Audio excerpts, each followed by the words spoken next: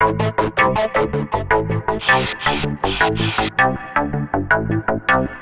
everybody. In this video podcast, I have a conversation with a very, very good friend of mine. It's Adam Blythe.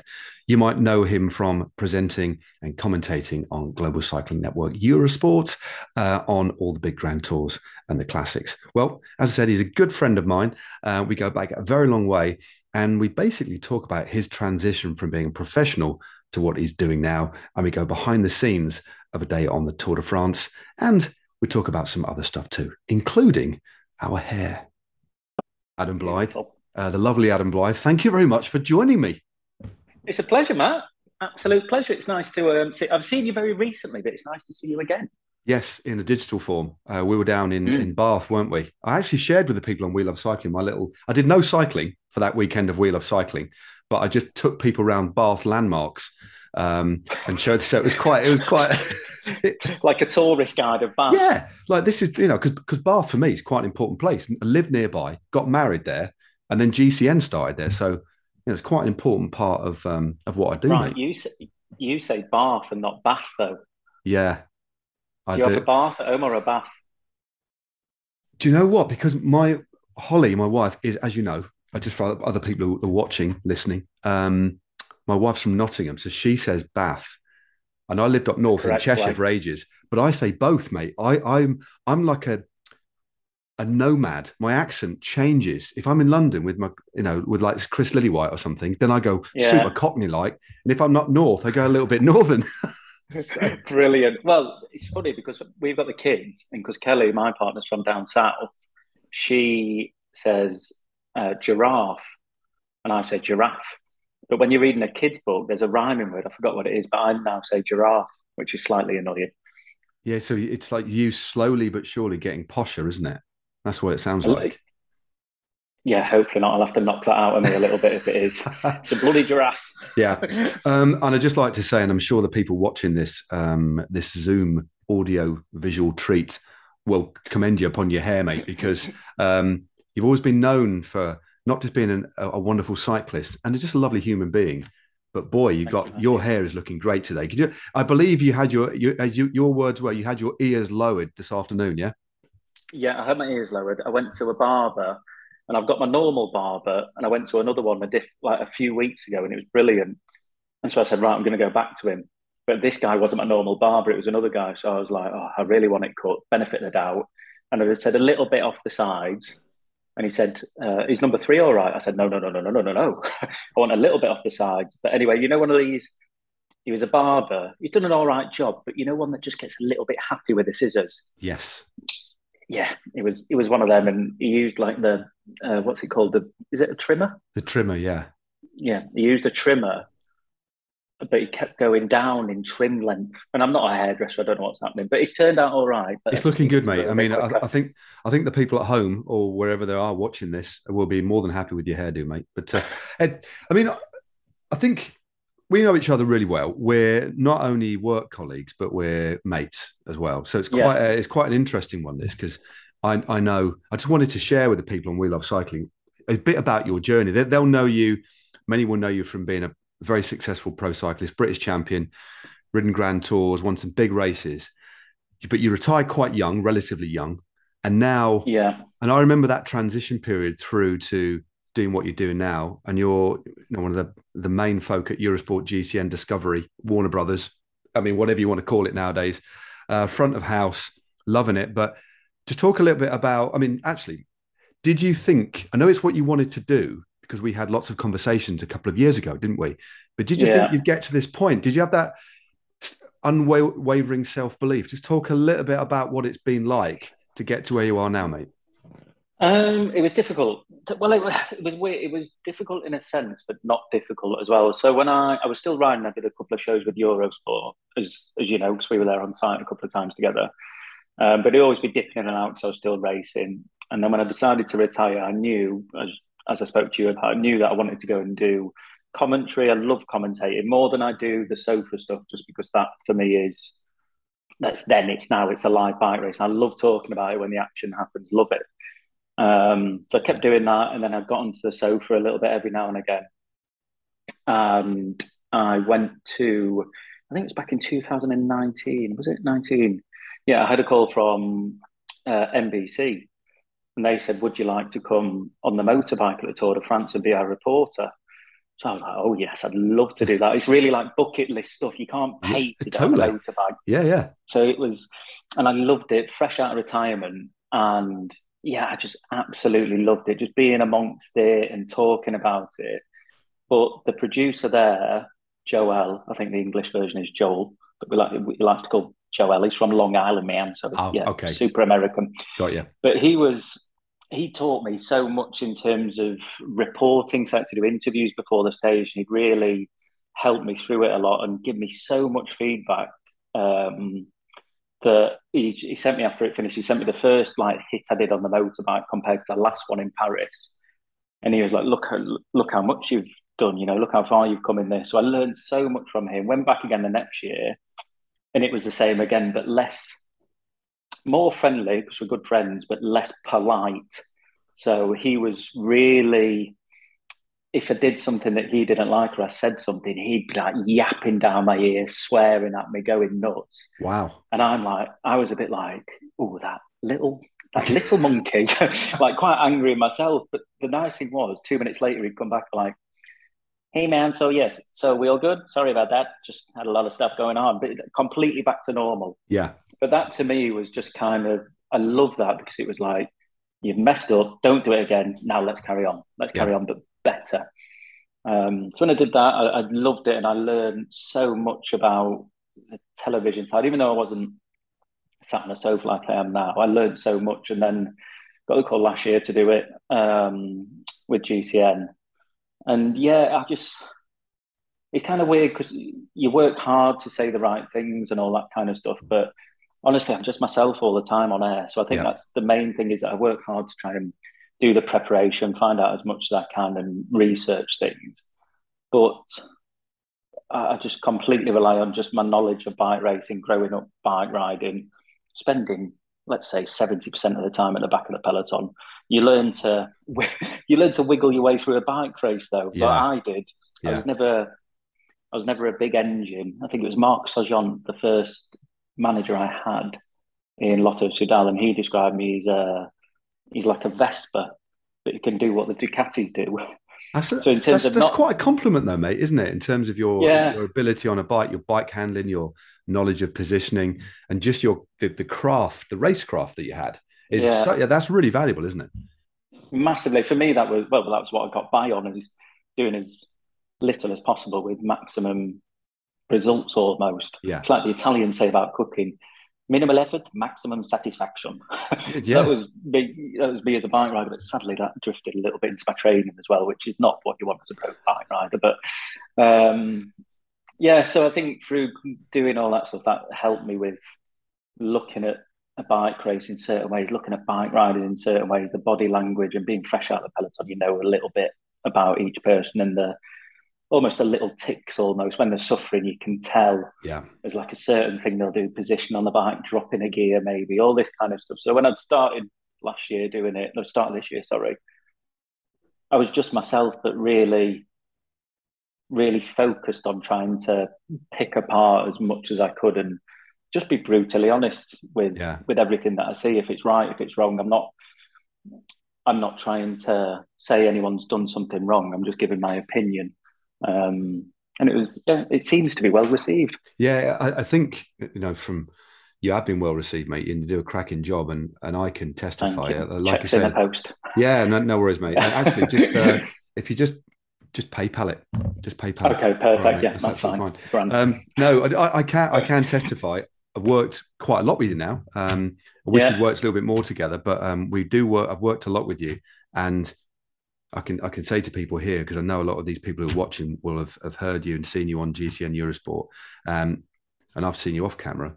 You are basically you are the same thing. You are it is the same. There's no quite quite often, and it, when you're a lead um, a lead commentator or a lead presenter, that there's there's you, then there's an amplified version of you, but in the role that you do, you're just the same all the time. Even when you're on the mm. sofa, because you don't anchor it, you're there, but you're a key part of it. You're able to be you comes through in the way in the way you dress, the whole lot, mate. It's just you. It's not. I don't think in any way the bit we get on screen or behind the mic when you're commentating and and down the pub or out on your bike, it's exactly the same Adam Blythe. And I think people can see that they can they can they, it resonates with them because there's just an honesty through it and, yeah. and and the way you can unpick a bike race um in that very um everyday you've got a very nice manner about you you, you can pick a bike race apart you can you know deconstruct it but in language that people can identify with you don't alienate anybody you're every you yeah. know everybody can can see what you're saying and you and you are unafraid to criticize or to because you see things in in bike races that could be quite puzzling. But, but our job as commentators is to make people understand, tell them the story, but also explain yeah. or at least try and say why on earth did he or she do that on the bike? What? And then sometimes you will critique it, you know, because that's what our job is. And the more you can do that, the more beautiful cycling becomes because people start to understand it. Yeah, exactly. I think that's the main thing. Is I think a lot of people that I've heard in the past are always they're a little bit afraid to upset someone. They don't yeah. want to get on the wrong side of someone and it's it's not that I don't want to get I definitely don't want to get on the wrong side of anyone. Doesn't matter who it is, but I I'll always stand by what I've said, my facts about what I've said about. And ultimately, there was a very similar thing with Remco recently about some puncture in the last two k. Got a lot of abuse for that, but I might have said it in the wrong way. But I stand by what I said. I, we only I could only see, and what I saw didn't look right to me. It just didn't look right after we found out the information about it. But then and there, we have to talk about it. We can't gloss over it. We can't be like, oh, something's happened. It's like, no, that looks different to me. That looks strange to me. We need yeah. to talk about this now. And you do get criticism, of course you do, and you get a lot do. of people calling you out, calling names, this, that, and the other. But that's part of the job. And I still stand by what I said. It didn't at that time. It was a Pacific puncture. I couldn't see a puncture, and I said that after it. I admitted it. Yes, I was wrong. There was a puncture, yeah. but I think that's it. It's, it's just very much that's our job, right? Call it call it how you see it. Yeah. Um, and if you're wrong, hold your hands up. But I think that's the main thing. Don't don't afraid for me. Don't afraid to ever be wrong. Yeah, I, I think it, like you said, you if you would we are relatively neutral as commentators, but also when, when we see things, we have to try and explain them. And I, as you say, um, and I think it, the way that you commentate should replicate the rhythm of the race a little bit. There's slower moments. There's mm. there's bits that are super exciting, and, and, we know excited you get. And I think that's a joy. I think it's an absolute yeah. joy. You're just yourself, and we still like riding our bikes when we can. We still like having a bit of a nudge, and we still love watching a good bike race, don't we? You could, and oh. I think that I think that we I think the word passion's overused a lot in cycling, but there is a passion that you can really sense when you're talking, mate, when you're commentating, whether it's on the oh, sofa you, or whether it's a bike race, and it excites people, it enthuses people, brings more people in, um, and and I think making mistakes is is inherently human as well. If you imagine if you were afraid yeah. to make any mistakes, it's like it will become really sterile. And making mistakes mm. just shows you that you're you're brave, you're you're bold enough to say, like, okay, made that call. It's what I saw, which is what you do in a bike race. You make the wrong yeah, exactly. calls pretty much all the time. You're making wrong calls in a bike race. You're a bike race. You're commentating. Sometimes you might make a call that you thought was right, but on reflection wasn't. Move on. It's that's part yeah, of the, exactly. that, that's that's about the, the human side. And I think the more human you can be as a as a commentator um, and as a person in front of the vision in, in vision, hopefully doing doing your job. I mean, and you, you love it, don't you? As well, I know you love it, don't you? Yeah, yeah, I do. Do you know what? I just love the. I love the just before the show, the after show, the commentating, the laughs, everything about it, the just the jokes and everything is. For me, it's just it doesn't matter if Orla or Dan's happy; they'll they'll be happy. Of course, they will be. But it's everyone getting everyone involved: the cameraman, the sound guy, the guy upstairs that we can't even see. It's just bringing everyone together and boosting everyone, getting them in a good mood. And that could be being silly sometimes, whatever it might be. But I just love that everyone can interact with you, with, with us guys, you know. And I, I just, that's the most, for me, that's one of the most joyful things when you finished a job and you finish, say, the pre show before a race starts, that everyone's done the job and everyone's happy. Yeah. But at the same time, if it's not good, we can very much say, look, guys, this wasn't right, this wasn't right. But then as I said about the American director, just move back back into having yeah. fun times again. You know, it's yeah. let's not bog ourselves down with it. But no, I absolutely I, I love it, and it is a real privilege to um to have that job because it is. There's not many people around the world that've got a job that they absolutely love. So no. yeah, very fortunate. Yeah, totally, mate. And I, th- I think it's reminding yourself of how how fortunate you are. I mean, you you've earned, earned it. It's not. I mean, there's I guess there's a small bit of fortune, but mostly it's because you're good at what you do and you put yourself in a Mm, position and, and you get hired. But I think the the thing that my takeaway from it is just net you every day is a school day. Every bike race is a, is a school yeah, day for me. yeah, Every yeah, every broadcast is is is a school day. You never know it all, and and especially this current crop of young riders coming through to expand into the more the racing side of it. Um, how exciting is it, mate? Just to be able to, but you know, we, we, we think we know bike racing. You never fully know, but you know, you know what's going on. You know the riders. You know what may or may not happen. You you get a pretty good sense of what's going to happen. But this last year and a half has been nuts, hasn't it? changed. Yeah, it's Yeah, just it's completely insane. changed. It? Yeah, yeah, yeah, it's mental. I think the I think by when we did the Tour de France this year, it was completely every day was like a one day race, breakaway, breakaway, breakaway. But not just little groups, was huge groups. The only thing that we could rely on of what we knew was Wout van Aert going up the road. That was it.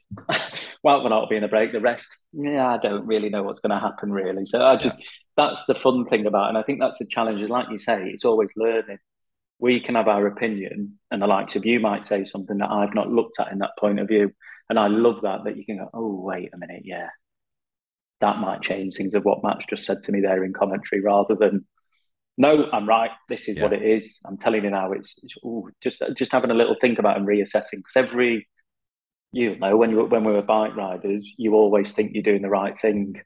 You're always trying to better yourself, always trying to get the best result if someone else looks at you who's in the peloton trying to do the same thing, they could look at you and go, "What is that guy doing? yeah, What is that guy doing?"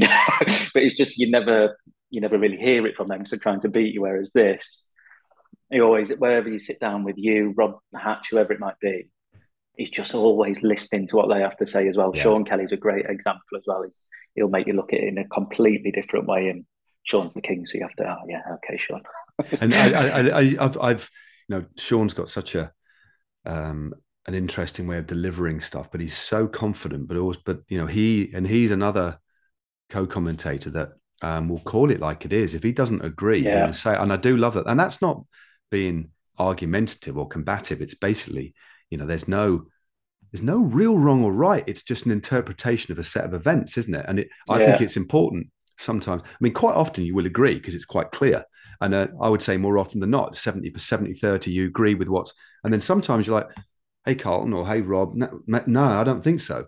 Um, that's yeah, yeah, important though, isn't it? To, and then it, it does make you think differently. And also whether you're, there's the people that we work with quite often, especially the people we work with who haven't been bike riders, I think that's great as well because they they look at it completely different because you look at it from a bike rider's point of view and they're looking yeah, at it from another point of view and that is that's important like Jose or or, or you know or or Rob or Carlton that they come at it from a completely different point of view as well and it's all and that all mixed together I think just gives the viewers more doesn't it you know it's Yeah, um yeah. you know I think for those guys, it's also there's a couple of guys who've been doing it ages, like Rob Hatch is one of them. He knows it ins and outs, but he'll always ask that question just in case, but also just for the viewers. He'll generally know the answer. He'll ask us always, "What do you think about this situation?" He'll generally know what the situation is, but it's sure just putting it in layman's terms, trying to explain it to your grandma at home that's just yeah bought bike racing because it's going through beautiful France, but she wants to know well, there's 44 guys in front of the race and which one's going to win and why aren't they riding harder on the front in the lead and all that kind of jazz. So, yeah, it's. I think when you get people like Rob, especially Hatch, it makes and you makes the job a lot easier to explain things and just walk through things a lot quicker. yeah yeah it uh, that's an important thing is uh, uh, the, one of the things you learn as a as a as a commentator or is never, and even when I was making videos for for, for GCN back in the day, never assume knowledge because you've got a, a, a, Exactly. a, an audience that generally grows um, the further you get towards the end of a bike race. We know a lot of people tune in 10, 15K to go for the last hour, last half an hour. So you've got more and more people. And the more people you have, the more varied their knowledge set of knowledge is going to be.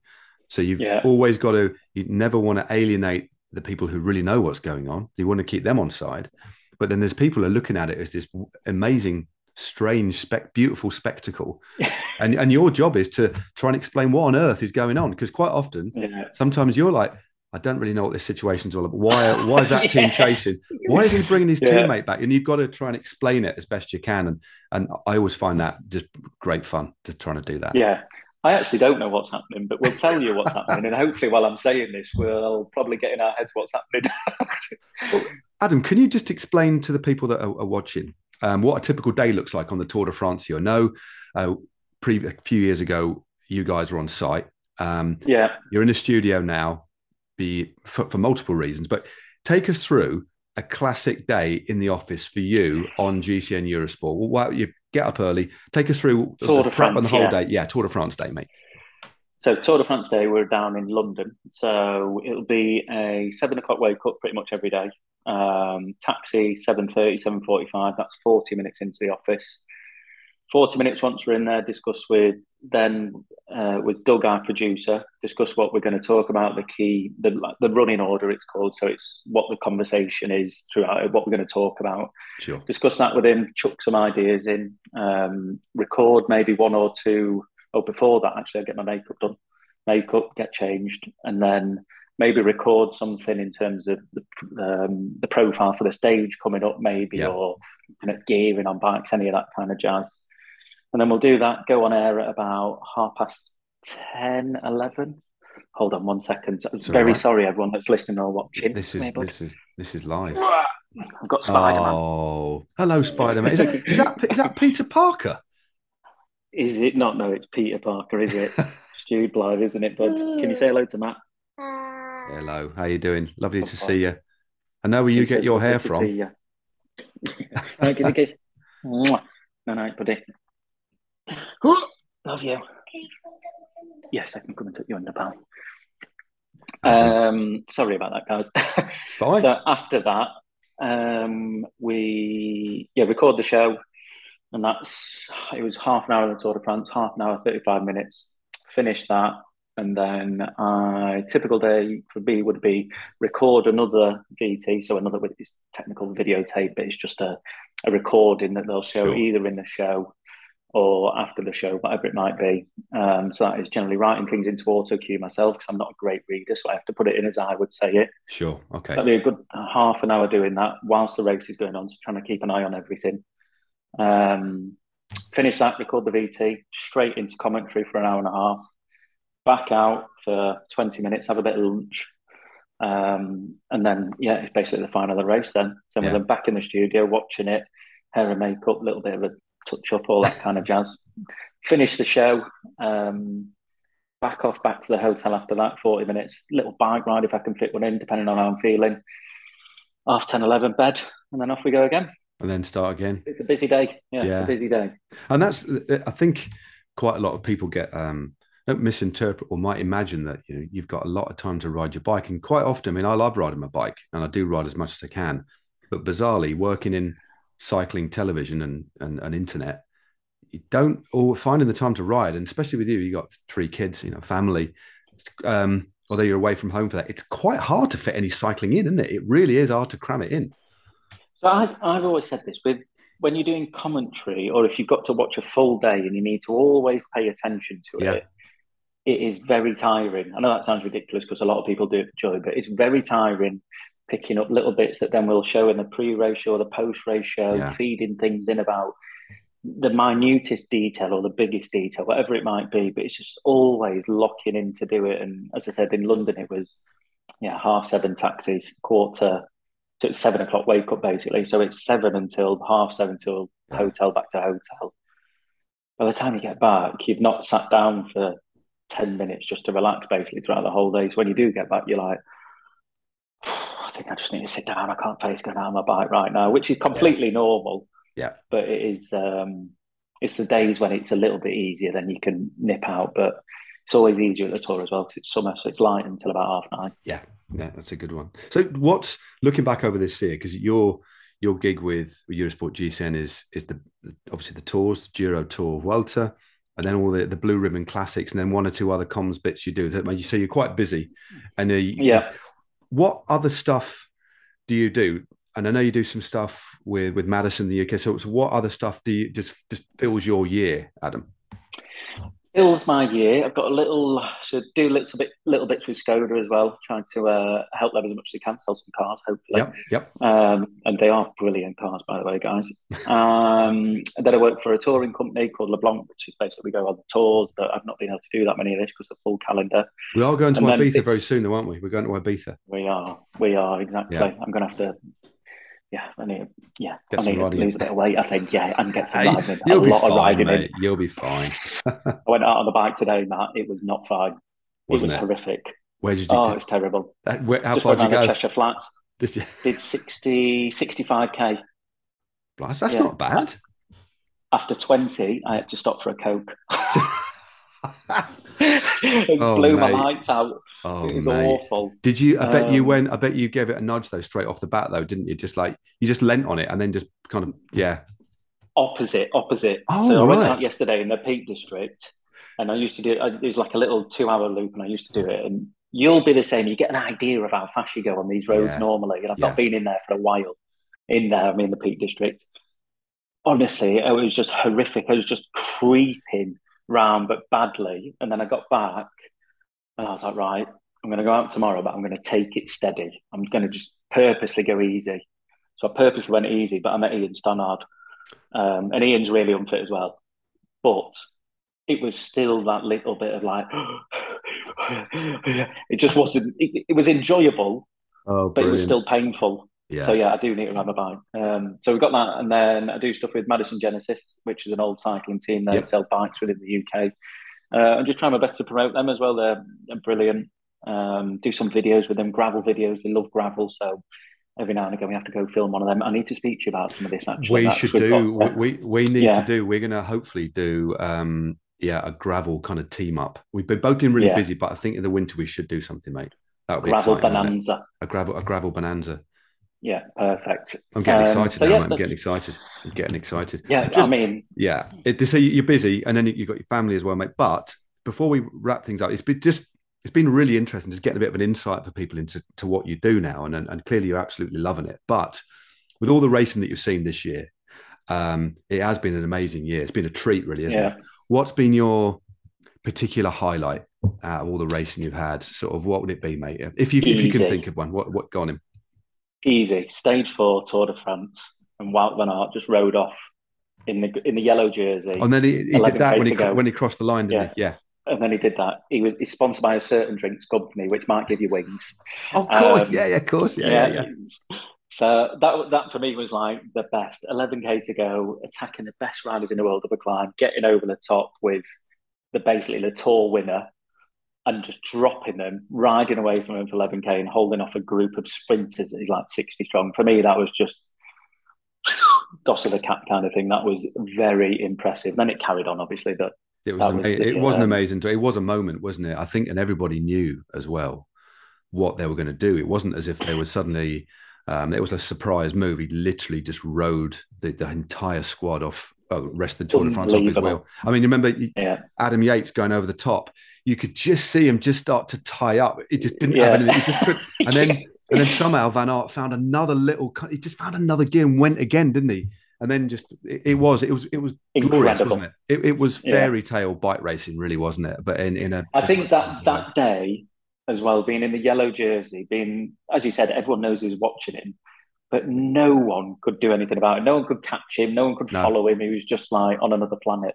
It was brilliant. that was it? my highlight. That was my highlight. Yeah, I think that has to be one of mine, mate. I mean, that's that's a, a, great memory. I was fortunate enough to be to be on the ground working with you guys, wasn't I? But um, at a, oh, you were, yeah. at a distance, and every day we would go into the Skoda Tribune in the in the village and setting up. Um, so it's a big thank you. I've never really thanked the guys at Skoda for actually looking after me. Numerous coffees, cold drinks, lovely little sandwiches and cakes to fuel us up for the day. So thanks, nice. thanks, thanks, Skoda. It's good. That, I remember when I was there for that. We used to go in there every day and we'd I'd leave with the motorbike with like twenty sandwiches. I did always leave sandwiches.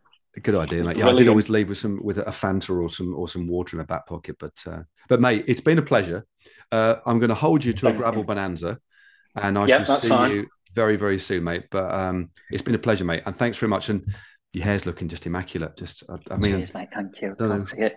I mean, I've got a bit of Yours is looking fabulous as well. It's not Mine, too bad. We had a little, we had a little chat before we went on air, didn't we? And we talked did. about hair tools to use and diffuser. I know. With the soft, bouncy curls. Yeah. Nice. I, nice. I mean, one last thing before I used to, um, back in there when I was racing in the early noughties, um, when the emo kind of thing was a fashion, I had hair straighteners. I used to take them on races. Oh, me too. Me too. Yeah, yeah I used to have hair straighteners. Anyway, yeah, they might, hopefully they might they might cut that bit out, but it, it's fine. I thought you were going to say you put lemon juice in your hair.